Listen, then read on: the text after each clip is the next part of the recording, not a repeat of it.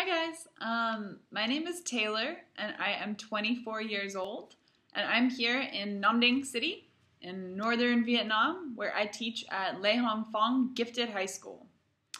Today I'm going to tell you a little bit about myself. So,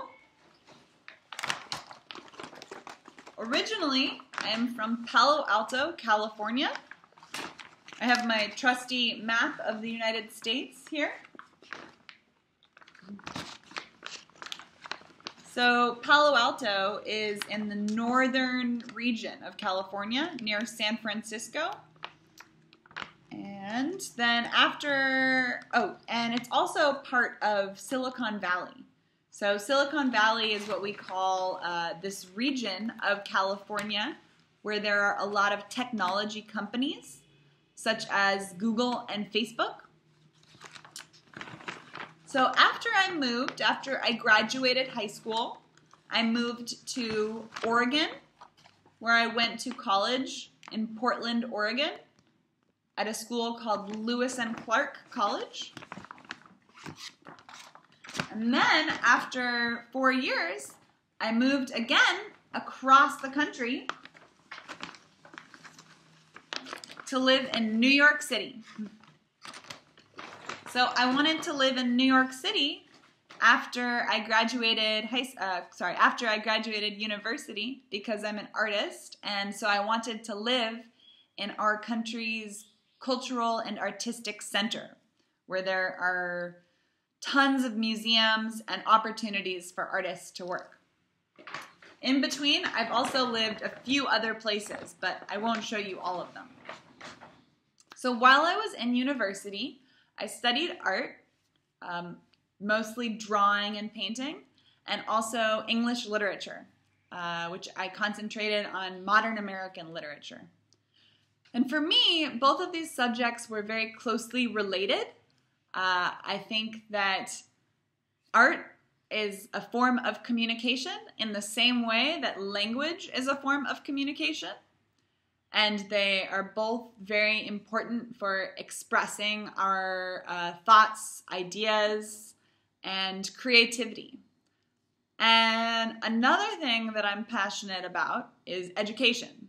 So, in the future, I hope to work uh, to maybe be continue to be a teacher and work in the classroom more. But I also hope to be an advocate and work to help support the presence of the arts in our public education systems in the United States so that students can have access to classes and lessons and materials um, for all kinds of art forms. I think it's very important for students to be able to express themselves and learn to communicate in creative ways. Um, I also, in addition to drawing, I also did uh, acting when I was in university. And I really love writing as well. So, um, what else? A little bit about my family. Um, I have four people in my family. So, my sister is 30 years old. She's six and a half years older than me and she is also a teacher. She works with little um, babies and toddlers. And my parents own two restaurants or cafes. My dad has owned restaurants for my entire life, and I actually worked in them when I was in high school and when I was home from university. So I am very familiar with small businesses and also with American and Italian styles of food. Um, growing up in this business um, and learning from my dad made me have a really strong appreciation for how much you can learn about a culture through its food. So, um, an interesting an interesting fact about me is that I was actually a vegetarian for 12 years before I came to Vietnam. So that means that I did not eat meat for 12 years before I moved here. Um, because mostly because I really love animals and um, I didn't want to eat them.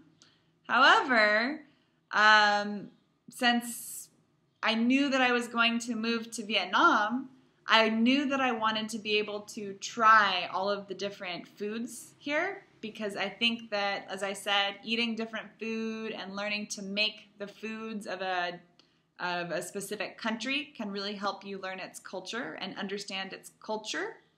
Um, so I've started eating meat since living in Vietnam, and I'm really happy with my choice because I think I've learned a lot about this culture through its food. Um, these pictures behind me are of my friends and family and different places I've lived in the United States because I love to move around a lot and travel a lot.